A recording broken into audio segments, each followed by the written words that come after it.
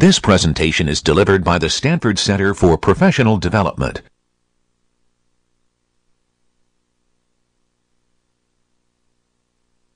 Hey everyone, welcome. I have a uh, glorious set of handouts for you today. I have a midterm solution and I have uh, the first two handouts and a stream of a few handouts uh, I'm going to be giving you on our next paradigm and our next programming language. Uh, you'll see that I do have the midterm solution in there. I actually distribute that um, obviously so you can check your answers, uh, but also so that we're somewhat transparent in how we actually grade these things. Turns out that these things amount to like 25% of your grade, so I like you to know what criteria we're using to consistently grade everybody, um, so that if you see something that is so clearly wrong in terms of the way we graded it, uh, you can confirm that by looking at the grading criteria and then coming to me if you have problems. Um, Usually when there's a one-point error that's not listed specifically on the criteria, that doesn't mean I'm going to give it back to you. It means that you made a mistake that we didn't anticipate anybody making, that we we didn't put it on the criteria. Um, but if you have a total of five points taken off for a problem out of 10, and it's not clear why you have that many points taken off, that's a different scenario. Uh, and so consult the answer key, and if there really is disparity, come and talk to me about it. And you should come to talk to me about it if there are, if you're worried about there being a grading discrepancy, because this thing does just end up counting a lot. So don't feel shy about coming back uh, and asking for um, um, clarity as to why we took points off that we did. So uh, what I want to do today is I want to introduce uh, a new programming language and I want to um, first illustrate a new paradigm, one that you've certainly not seen before unless you've coded in other classes at Stanford or coded prior to Stanford. Um, we have spent a lot of time uh, talking about these two paradigms, imperative. Uh, you'll also hear me call it procedural. Uh, they're not necessarily the same paradigm, but the language we're using to illustrate both of them is the same. Uh, we focus on C as the representative of those two paradigms. Uh, we also have the object oriented paradigm. We use C++. And even though we know that C and C++ ultimately translate to the same type of assembly language, um, that we kind of think about the problem differently, or we think about our solution to the problem differently when we take a pure C approach versus a pure C++ approach. Um, the reason this is called uh, uh, imperative or procedural is that they're focused around the verbs that come up in the paragraph description uh, of a solution. Um, think about what a main function looks like uh, in a, a, a, typical C program. Uh, you declare all your data, and then you make a series of calls to these very high-level functions like initialize, do it, terminate, and then return zero or something like that. You understand what I mean when I say that? Okay, so the first thing you see associated with any C statement is usually or very often um, uh, uh, the name of a function that gets invoked to kind of take, take uh, control of 10% of the program or some small percent of the program um, just to get something done. As far as object-oriented is concerned, you're used to something like this. I'll, I'll, write the C equivalent in a second, but C++, over here, you declare vector v. You do something like vector new, where you pass in the data and a few other parameters. You do things like vector insert ampersand of v and vector sort of ampersand of v with additional arguments. Those aren't prototypes. That just means I don't feel like spelling out the rest of the call. Um, in C++, we declare a vector, maybe of ints, called v, and you do something like v dot uh, of 4. Or maybe you do something like v.erase uh, of v dot begin to remove the front element. I know you haven't dealt with that specifically. Don't worry about the fact that you haven't, haven't necessarily used all those methods. Um, but clearly, in this example right here, you're looking at the verbs first, okay? It is oriented around the procedure, so I'll just go ahead and say that it is uh, uh, procedure oriented. Whereas right here, you declare this object up front, and the first thing that comes up in the statement of any particular, in, in, it comes up in any one particular statement, usually the first thing you look at as, is the piece of data that's being manipulated. Um, uh, in this case, V is the data. It's also called an object. Because this is up front, it looks like each statement is oriented around the object, which is why it's called object-oriented as opposed to procedurally oriented. Okay? Does that make sense? So you may think, well, I don't understand how I could possibly program in any different manner. Well, even sequential versus concurrent programming, there's a little bit of a paradigm shift. You have to think a little bit differently about uh, the problems that are going to come up when you program in a threading environment versus a non-threading, non-threading environment. Okay, usually when, and uh, this is a little bit of a caricature, but this is really how I feel. Whenever you're coding up a normal program, like programs one through four, you have this very linear way of thinking. You have a series of tasks you want to get through, and it's almost like you're inside the computer, like typing things out one by one. But when you're programming in assignment six, it's at least not all of it has to do with uh, like execution logic. A lot of the hard stuff is like figuring out how all the threads are going to interact. And so you're thinking about multiple things at, at a time, and I'm actually like standing up a little bit more because I actually think with the back of my head when I'm programming uh, concurrently because I'm trying to imagine all of these different scenarios of thread interaction that I have to worry about that have nothing to do with code, right? I actually have to see all these little players in like some cloud, thought cloud, uh, and how they might be interacting and how race conditions might uh, come into being. Um, and so uh, concurrent programming and multithreading is its own paradigm that isn't really tied to any one particular language. Object orientation isn't tied to C++ any more than it's tied to Java or Python or, or any other OO language you might know. Uh, and even though C is probably the only procedural language you've really dealt with, there's Fortran, there's Pascal, those things really do exist. Not because a lot of people are writing new code in them, but there are legacy systems from 20 years ago that still exist and uh, even if they're not adding features to that code base, they're certainly maintaining it and fixing bugs that crop up, things like that. The amount of energy that was invested in fixing COBOL uh, code bases uh, back in like the final three months of 1999 was outrageous because everyone was totally petrified of the, the, the Y2K threat. Uh, that because we weren't storing years with enough information, that everything was going to go back and jump back to like year zero or 1900 or however they actually started it. It turned out to not be as nearly as big of a problem as they thought it was going to be, but everybody was working in a procedural language called COBOL for a good amount of 1999. Not everybody, but a good number of companies were. Okay. What I want to do now is I want to stop talking about procedural and object-oriented for a while and go back to sequential programming for the most part um, and start talking about what the functional paradigm is. Now, functional and procedural uh, sound similar, but procedure, if you're a purist about the definition, it is a block of code that gets called where you're not concerned about a return value. Okay? Does that make sense to people? Like you have to think about a procedure as a function that has void as a return value. When I talk about functional, I'm talking about procedures and functions again, but I really am oriented around the return value. Okay? We're going to study a language, I think it's a very fun language to learn, called Scheme. Um, there are aspects of Scheme that are interesting. I want you to uh, invest a little bit more energy in understanding the paradigm uh, than the language, because the paradigm is the features of the paradigm are the more interesting takeaway points from a class like this if you're not going to program in Scheme again, which probably will be 90% of you. Um, but nonetheless, the functional paradigm is uh, very much oriented around the return value of functions. So let me just do an aside right here. And just think of uh, pure algebra, nothing sophisticated. Um, but if you have a function like this right there, don't even think about code, just think mathematical function. That looks like it's the name of some function that takes two real numbers or two complex numbers or whatever, two pieces of data, and in traditional math, you know that it just returns or evaluates to something. Okay, so it may be the case that in a mathematical setting, it's x cubed plus y squared plus 7. Okay, and in a pure math setting, you know exactly how to evaluate that if it stops being parameterized on, on x and y, and you actually pass in 5 and 11. Okay, if I do something like this,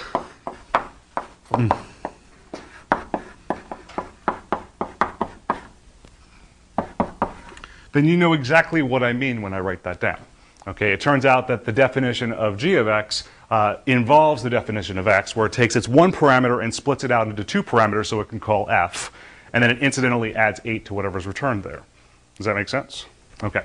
Uh, and if I go so far as to do this, maybe it's the case that h uh, of x, y, and z is actually equal to f of x and z times g of x plus y. And that's just the associations that are in place. Okay? Now, this isn't legal code. This is just math. What a... Uh, what the functional par paradigm approach does is it assumes you have um, lots of little helper functions that are interested in synthesizing one large result. So maybe it's the case that I'm interested in the result of h, uh, h where it gets a 1, 2, and a 3.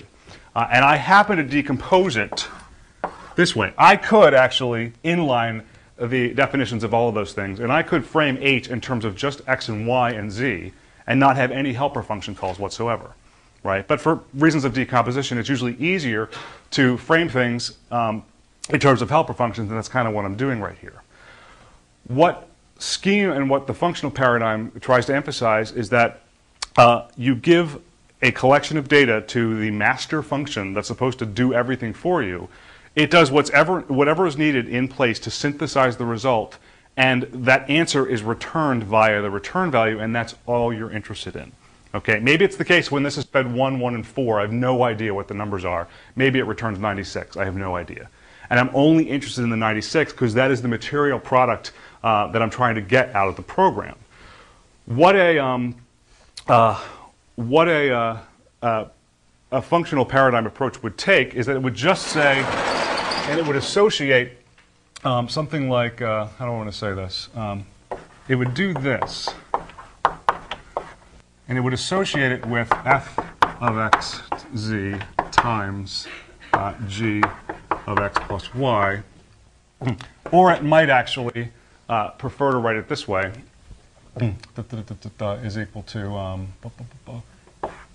x cubed plus y squared plus 7 times f of x plus y, x plus y plus 1 um, and that's plus 8. Okay, but you would actually write it this way and really expect f and g as functions to themselves return values that contribute to the synthesis of a larger result. Does that make sense to people? Okay, question in the back? Why isn't the y squared replaced with z? I just, I didn't go that far. Where, where, where did I do? I'm sorry, I just messed up. Right there, yeah. Yeah, sorry, thanks. Um, so rather than actually trying to do this in terms of pure math, let me just give you an example uh, of what uh, a scheme function looks like. I'm not even going to try and explain what the syntax is. You're just going to have to intuit what it probably does as a function.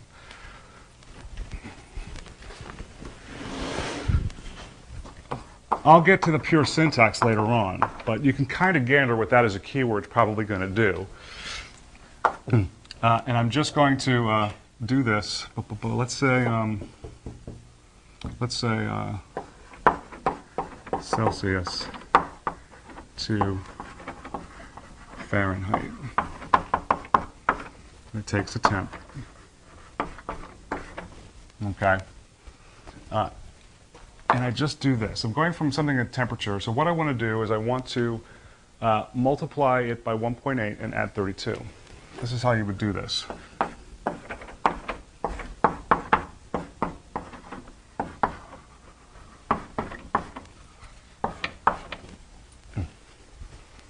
Okay. Now, you're not necessarily sure what the syntax is. You can kind of see that the right numbers come up in the, in the conversion of um, uh, Celsius to Fahrenheit. Okay, so I want to scale 0 degrees or 100 degrees by 1.8, okay, and then actually add 32 to it. And that's how we get 32 or 212 out of it. So I'll go over syntax later, but what's really happening here is that uh, in a scheme environment, which is an example of, of a functional language, it associates this as a symbol and the, the actual dash and the greater than sign forming an arrow, that's actually legal part of a token in, in uh, uh, scheme. They want you to be as expressive as you could possibly be uh, using the full alphabetic or a full ASCII set to pretty much the full ASCII set to name all of your symbols.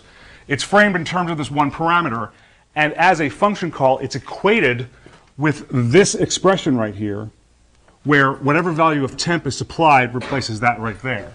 So if I go ahead and I type this in,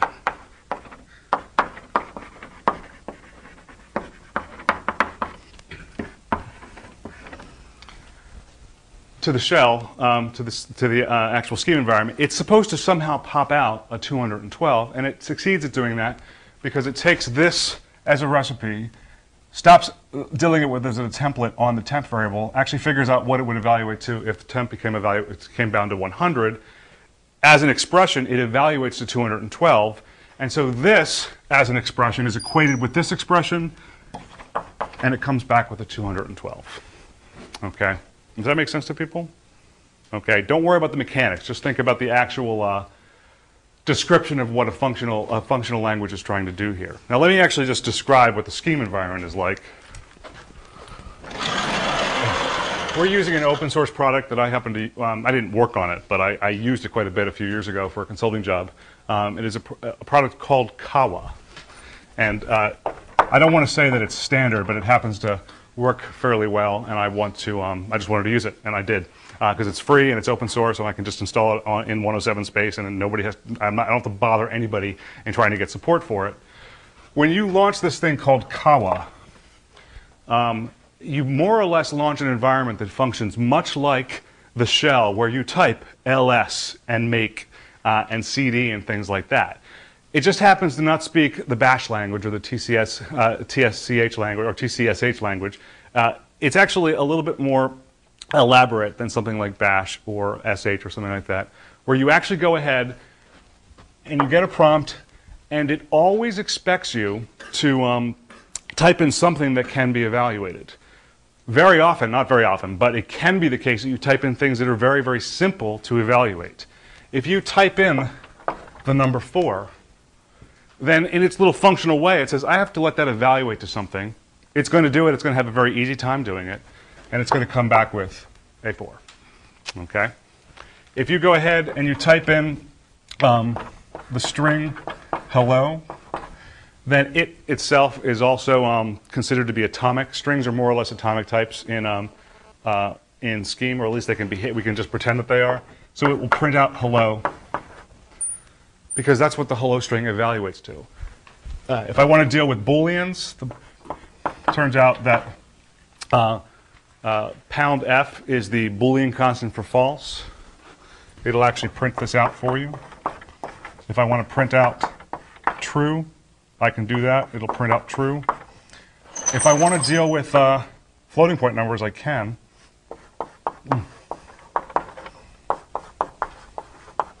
Continuing up here, you may think that it's going to uh, be very clever about things like this, but if I type in 11 fifths. That looks like it's a, a, request to do division. It's not. You happen to type in a number in the rational number domain. Um, and so what it's going to come back with is, oh, that's just 11 fifths. Thanks for typing that in. okay, if you go ahead and you type in uh, 22 over 4, it will go ahead and re reduce it for you.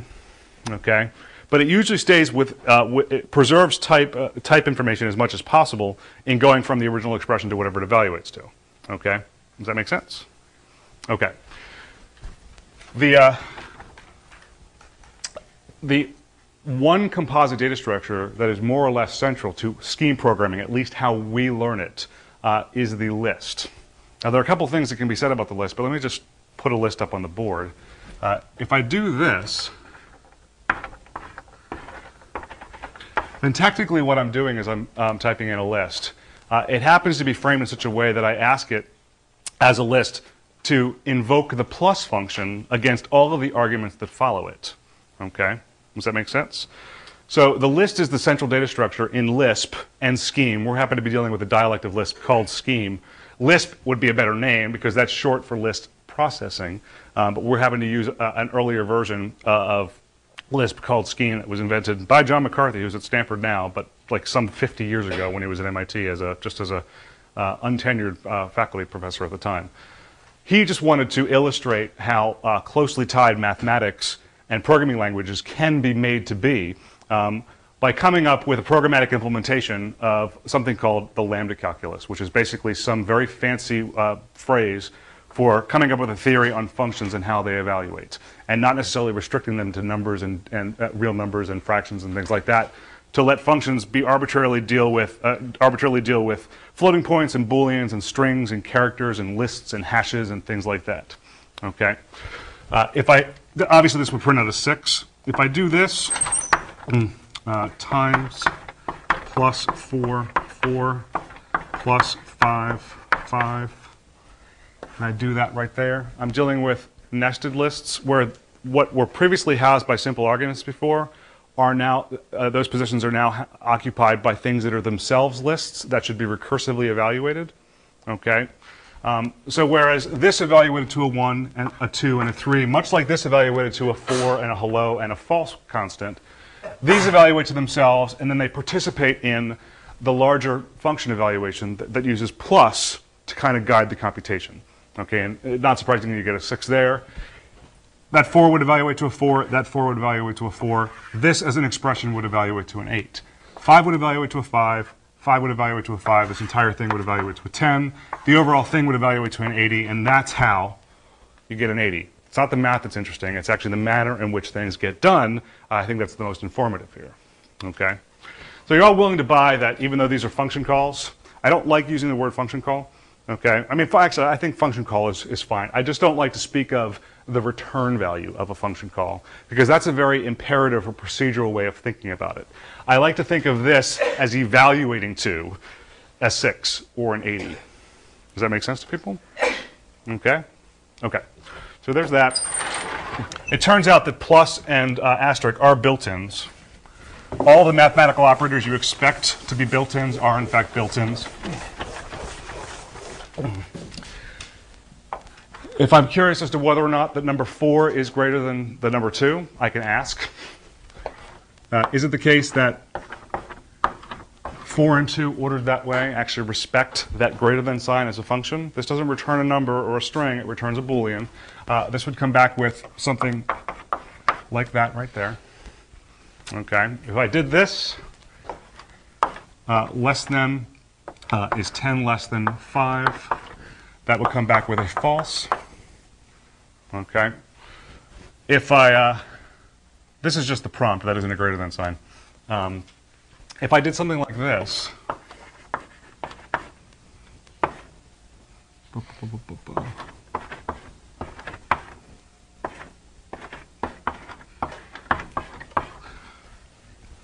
it would assemble things in the way you'd expect. Okay. It actually even does short circuit evaluation. So this one right here would be evaluated. This 4 as an expression evaluates to a 4. This 2 evaluates to a 2. This overall thing evaluates to a true. This 10 evaluates to a 10. 5 evaluates to a 5. This overall thing fails. And it's at this point that the conjunction that you just expect to be in place um, with and would overall evaluate to a false. Okay? Now, I'm assuming you're gleaning the fact that the zeroth parameter or the zeroth position in a list, the way I'm using them right here, always identifies some form of functionality. There's functionality associated with this symbol right here, okay, and it knows how to take these two arguments and produce either a true or a false. The same thing can be said right there and right there, okay. But the actual symbols that are uh, attached to functions always occupy the zeroth place. It has this very prefix-oriented way of dealing with function calls. Okay? Does that make sense? One of the most complicated things about assignment 7, no joke, is actually getting the parentheses right. You're so used to typing out the name of a function and then um, typing an open paren after it that that's what you'll type out. And then there's so many parentheses surrounding you anyway when you're typing this stuff up that it's very easy to miss it. So you have to be very, uh, and just balancing the parentheses isn't enough. You have to make sure that you get into this habit of just opening up a parentheses, thinking about you have this entire list uh, of things that help express some kind of function call. Uh, and just know that that's the type of thing that's really hard to get right the first, when you write your very first function in Scheme. Okay. Now there is um, there are a couple of things about uh, lists that I want to go over before I start defining my own functions. Um, I told you that Lisp, even though we're dealing with Scheme, we're really dealing with Lisp. Uh, it's called list processing for a reason. Everything, including function calls, come in list form. The only exceptions are things like fors and hellos and things like that, the atoms of the data types. But normally anything interesting is bundled uh, in a list. We don't really have, we don't, they do have structs in Scheme, they do have classes in, in the, our version of Scheme, we're going to pretend like those just don't exist. Where everything that's uh, an aggregate data type is just going to be packaged as a list. And we're going to know that the zeroth item in the list stores like the name. And the, the fourth, I'm sorry, the one uh, slot in the, uh, the list stores the GPA or the address or the phone number or something like that. Okay? Um, what I want to do is I want to go over a few fundamental operations that are technically functions in Scheme that allow you to dissect and build up new lists. You're not going to always want to return a 212 or a hello or, a, or an 80. A lot of times you're going to want to return a list of information or a list of lists or a list of list of lists or whatever happens to be uh, needed in order to present the overall result to you. There is a function called car, there's another one called cdr, and there's one called cons. Okay, I'll go over why they're called this in a second. It's not really important. It's sort of interesting, but then it stops becoming interesting after a few seconds. um, car and cdr are basically list dissectors. Okay? If at the prompt I type in car, I'll explain what the quote is in a second. One, two, three, four, five. This returns the number one. Okay? If you just think about these things as linked lists, they kind of are linked lists behind the scenes.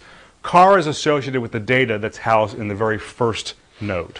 Okay, it always uh, is the evaluation of whatever is occupying the zeroth sl slot of a list, which is why this one comes back. Okay, if I ask for the cdr of the very same list, it basically covers everything that the car does not. So it returns the rest which in this case would be 2, 3, 4, 5. Okay? Does that make sense to people? If I do this, and I nest them, I've asked for the car of the cdr of the cdr of 1, 2, 3, 4, 5. It does recursive evaluation in this bottom-up strategy. Comes here and identifies 2, 3, 4, 5 as a list, 3, 4, 5 as a list, and then the car of that is the first element of what was produced by this, which was produced by this. So this would come back with a 3. Okay? Does that make sense? Now, what's this quote all about? If these quotes weren't here, scheme, uh, and it, it, may seem weird to you at the moment, but this is actually a much simpler language um, than uh, C or C++. And I'll have several defenses of that in just two minutes. Um, but if I take this quote away, then this right here is supposed to be treated just like this and this right here. Do you understand what I mean when I say that? So it would actually look for a function called 1, okay? And when it doesn't find it, it's going to be like, whoa, I can't apply the 1 function to 2, 3, 4, and 5. So it would issue an error right there. Okay, and in our Kawa environment, it'll throw a Java exception to advertise the fact that it's implemented in Java, uh, but nonetheless, it will break. Okay, so you don't want to take um, the car of something that doesn't actually evaluate by putting the quote right there. Um, it just is an instruction to suppress evaluation. That the list that is being presented after that quote is really raw data that should be just taken verbatim without any kind of recursive evaluation. Okay? It's actually shorthand whenever you um,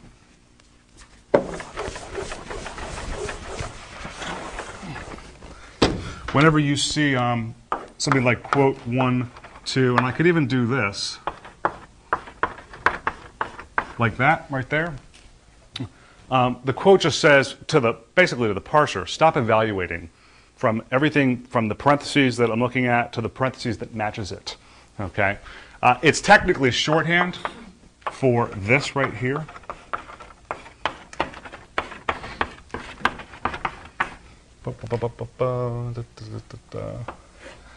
Matches that, matches that, matches that, matches that.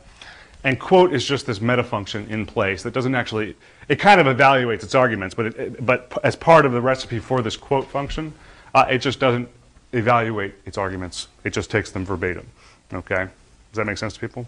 You're going to type it this way. You're not going to use the quote function. There are all kinds of nifty variations on the straight flat quote. I, I might go over it in a section handout, but it's so ridiculous. It's, I, I, there, there, there, are actually variations on this where you can actually um, use the back quote and the forward quote and the comma, which are variations of this right here, to suppress evaluation temporarily and turn it back on internally.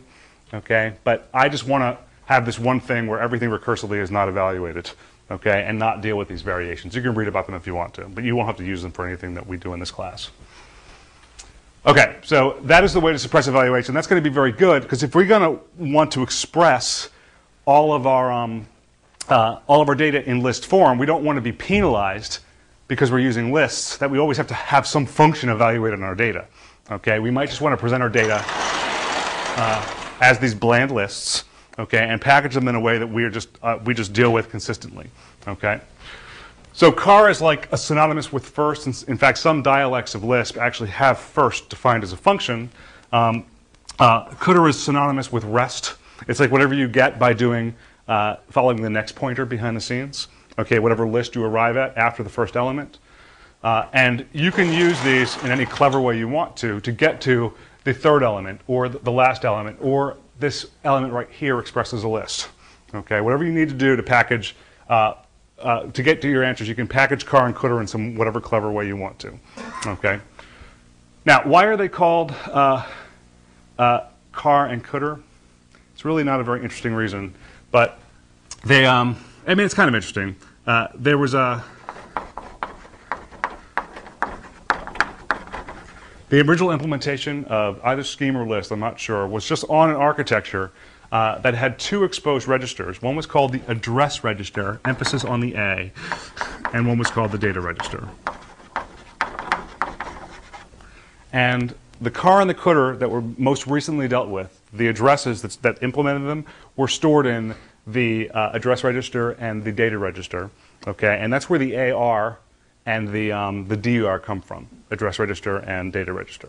Does that make sense? I don't know where the C came from something related to the letter C. I'm sure. I just don't don't know.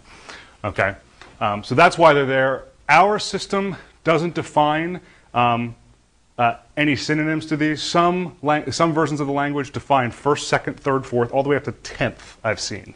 Okay, but ours doesn't. So you really have to deal with the raw car and cdr calls. Okay. These two functions take lists and break them down into their constituent constituent parts. Cons is kind of the opposite.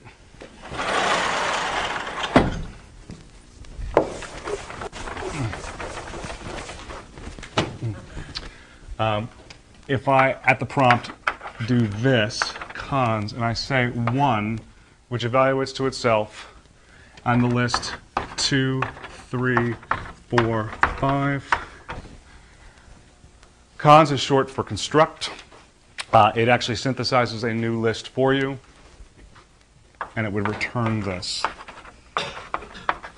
So cons is always supposed to be um, take two arguments. The first argument can pretty much be anything. The second one is supposed to be uh, a list because what more or less happens is that it takes this uh, element right here, it pulls this, uh, it effectively pulls this uh, uh, parentheses in like it's on a spring or something and drops the one in front. And whatever you get as a result of that is your resultant list. Does that make sense to people? Yes, no? Yeah. Did you do cons? two, three, then you can put um, one and four, five. So you can like put one in between two, uh, three and four. You uh, you could, but you would. I'm sorry. So tell me tell me what you want me to write. Uh, you want a cons call right up front, Yeah. and, and then what? Uh, Right like that. Uh, yeah, two, parentheses, two, three, four, parentheses, one, and then another. Four or five. Yeah, I mean, they're actually. I, I know what you're trying to do now. You would that would not work. Cons really has to have two arguments, and the second one has to be a list. Okay. If you wanted to do, let me just in two minutes, I'll revisit this example and at least just show you the code as to how you would assemble this. Um, what I do want to emphasize, uh, uh, let me erase this since it is syntactically a little off. Um, I want to emphasize the fact that it's very literal about how it takes the first piece of data and puts it into the front of the list. If I do this, cons uh, of um, uh, 1, 2, 3, and I try to cons it onto the front of 4, 5, I actually will get from that uh, another list where 4, 5 is its cdr, okay? But I will get this out. Okay, it's very literal in the fact that it takes this one element, which happens to be a list 1, 2, 3, and it kind of prepends it to the front of everything that's, that resides in the second list. So this emphasizes a point, I haven't formally said this yet, but lists in Scheme, or any dialect of Lisp for that matter, um, can be heterogeneous. Okay, right now, I've almost all the lists I've done uh, up to this point, except for one of them, Um, I guess I erased it. Uh, all of the lists have been homogeneous in that they've always stored all they've all stored integers or they've all stored booleans or strings or something like that. That isn't a requirement. So there are a couple of features so far about this that I think are pretty interesting. There's very little type checking going on. Okay, there's a little bit, but there's not nearly as much of a compile time element to um, to Scheme as there is in C and C++. Okay, it just lets you type in whatever you type in, and it's only as it evaluates things that if it sees a type mismatch, because you try to say add a float or double to a string, that it'll say, you know what, I can't do that. Okay, but it's actually at runtime when it does the required type analysis to figure out whether or not something will work out. Does that make sense? Okay. Um, as far as what you wanted to do, there is a way to do it. I'll just introduce it because I can introduce a function pretty quickly.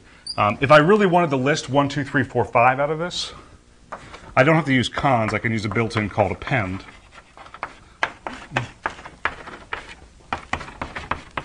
And that's not cons. It actually does effectively remove that paren and that paren right there and builds one big sequential list out of everything.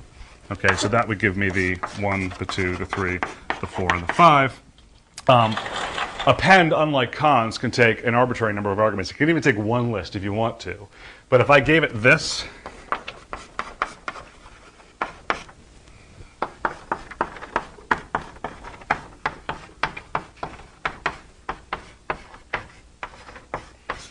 that would return what you'd expect. It would actually figure out how to return 1, 2, 3, 4, 5, uh, 6, 7, 8. And we'll be able to implement our own version of append in a little bit. Okay? But it basically just threads everything together. It's like it removes all intervening parentheses, uh, and whatever list is left in place is the return value. Yep. Would it work if three weren't in the list? Uh, it would not, which is uh, I'm the next example because that's what that the way he fed arguments to the example he was announcing didn't have one of them as a list. So I will fix that problem right now. If I really wanted to put a one in between um, a, a, a two and a three and a four and a five, I could do this. Append. Bu- bu- bu- bu- Let me put the arguments this way. I will just say two, three. I will write it incorrectly. I'll say um, one, and then I'll put the list four, five. And let's just pretend my goal is to get the list two, three, one, four, five out of that. Append doesn't like this. It wants to see parentheses around it, all of its data points. Okay? You can actually create a little list around a piece of data by calling this other built-in. And then all of a sudden, that just temporarily, or not even temporarily, well, temporarily, wraps parentheses around it and creates a singleton list so that it can actually participate in an append call. Okay? Now I'm just breezing through all these functions. I, I will be honest, I've probably talked about half of the functions you're going to need to learn for the scheme segment of the course. Okay, and none of them really are that surprising. Like list and append, they're not. That's not rocket science. It may be interesting how they work behind the scenes, but there's not like they're obscurely named. okay, car and cdr, yes, they are, and cons, they are obscurely named. But those are probably the only three that really, really need to you kind of think and remember what they do. But even then, that's pretty easy, I think. Okay. You guys get the gist of all the mechanics here? Okay. Yep. Are empty lists okay? Uh, empty lists are cool. In fact, they're used a lot. I should emphasize that if um, uh, if you type in something like uh, let's say cdr of the list four right there, uh, what follows the four is nothing, but it still has to be expressed as a list. So this would return that right there. Okay, it's fine. And actually, the empty list um, uh, is kind of the basis point for forming all lists. When I talk about how cons is implemented, you'll understand that the empty list is kind of like the base case of a recursive call. Um, I should say that if you do this, uh, that's a no-no. Now, some implementations will just, whenever you take, try to take the, uh, the cdr of an empty list and try to remove a car that isn't there, that some implementations will just return the empty list for you. I don't want you to program that way. I want you to assume that either a car or a cdr levied against the empty list is actually in error. Okay, and I actually am forgetting right now what Kawa does uh, because I never try to exploit the feature if it is one. I just assume that this is going to be programmatically in error. Okay, so no, it would print no. Don't do that. okay, does that make sense? So I've dealt with every, more or less, I've dealt with all data that's been a, a constant or a list constant or something like that. That's not the way it is. You really do define functions in Scheme as well, or else you wouldn't be able to build uh, scalable systems um, that can be parameterized in terms of arbitrary data sets. So I already gave you an example of one function over there, but let me start even a little bit easier.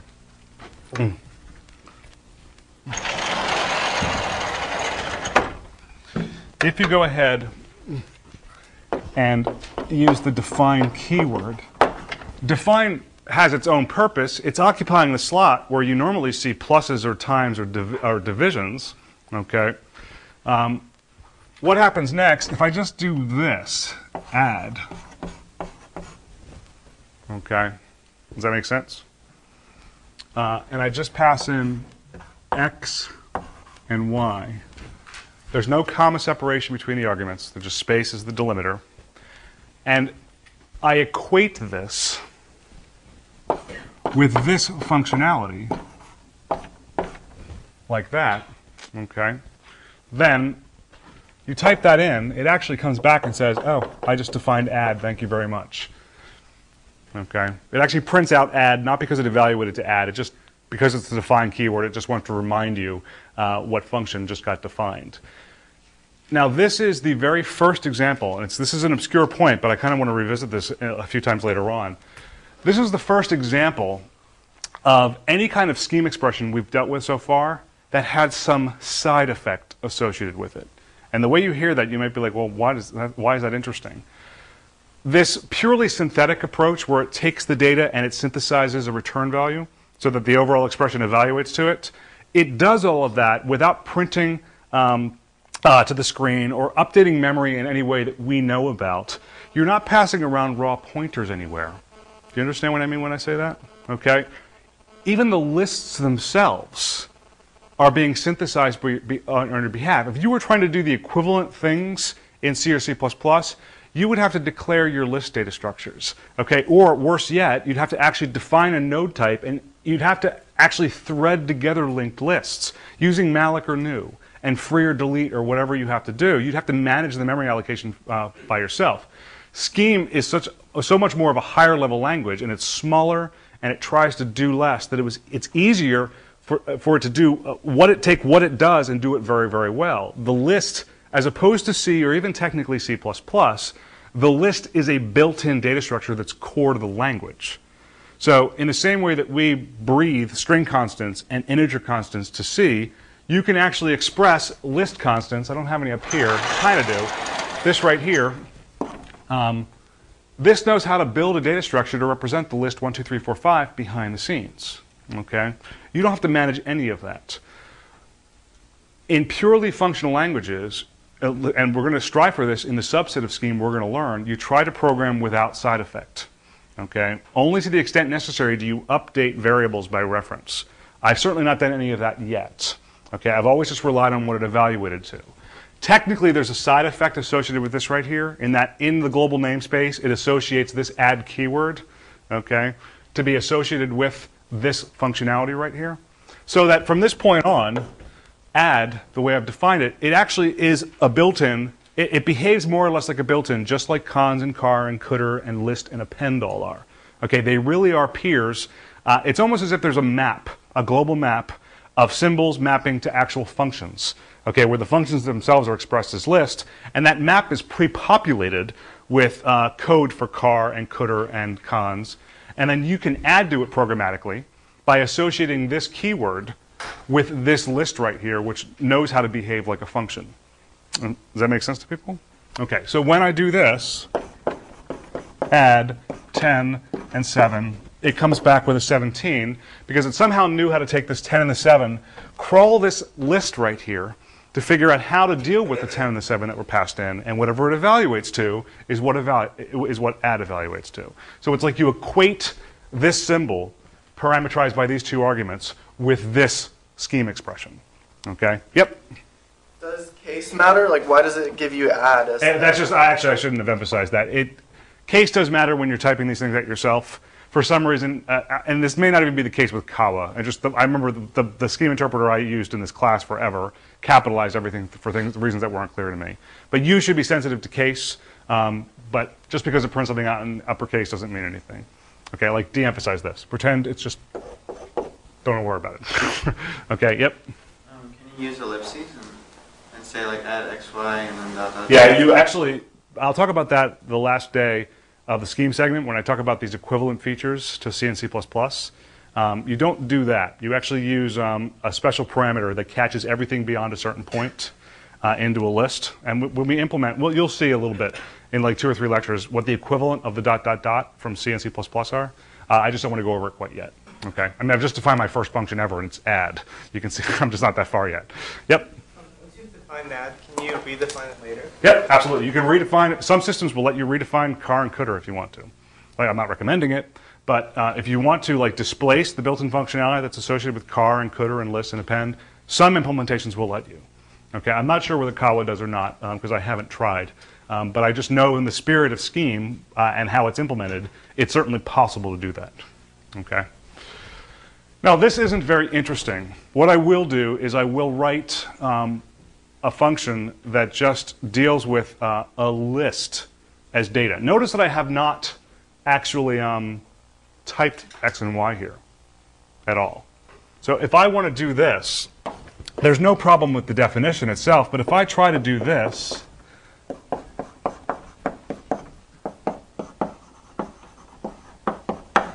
it's only when it tries to evaluate this, uh, this um, expression right here that it says, well, I don't like levying a plus against two string constants, and only there will it issue a runtime error.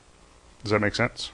Okay, think about the C or C++ equivalent. You would have had to attach data types to this right here, and you would have had to script this call up in the same file or some other file and compiled it so that at compile time it could detect that this isn't going to work out. There is really very little compile time element to a scheme interpreter. It just, when it parses the list you type in, that's technically compilation. But it also evaluates it at the same time. So uh, there's really very little separation between compile time and runtime in Scheme. And because it's an active interpreter system, we just call it the runtime. Okay? Um, so if I type this in, this would error out. Okay, so would we all agree that linked lists are um, recursive data structures? Okay, you, more often than not, if it's if it's linear recursion, you would probably just implement it iteratively. In Scheme, we're going to take this purely functional approach, and we're not going to do any in-place iteration whatsoever. Um, if I wanted to, hmm, yeah, clean board. Here's a better function um, that illustrates how compact and dense, and in many ways that's a bad thing, but it's just a feature of the language, um, how dense scheme code can be. I have two minutes to write this, I can certainly do it. What I want to do is I want to write a function that knows how to add up all of the integers that are supposed to be in a list. Okay, so I'm going to assume that it's a number list. Uh, and so if I give you, mm, let's just say sum of, and that's not a minus sign, it's actually a hyphen, so that's one token. Um, and I give you this right here. You know it's supposed to be 10, I think, yeah, 10. And um, the way that the scheme functionality is going to is to realize this is going to say, oh, I have a non-empty list. That means I'm going to add the, the car to whatever I get by recursively applying the same function to the cdr. So the 10 isn't so much a 10 as it is a 1 plus a 9. The 9 isn't so much a 9 as it is a 2 plus a 7. Do you understand what I mean when I say that? Okay. Here's the implementation of this function. Define mm, sum of, oops, sorry, I did it.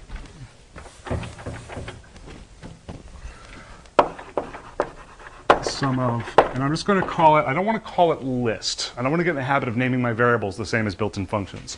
So I'll call it numList. Just like that, okay?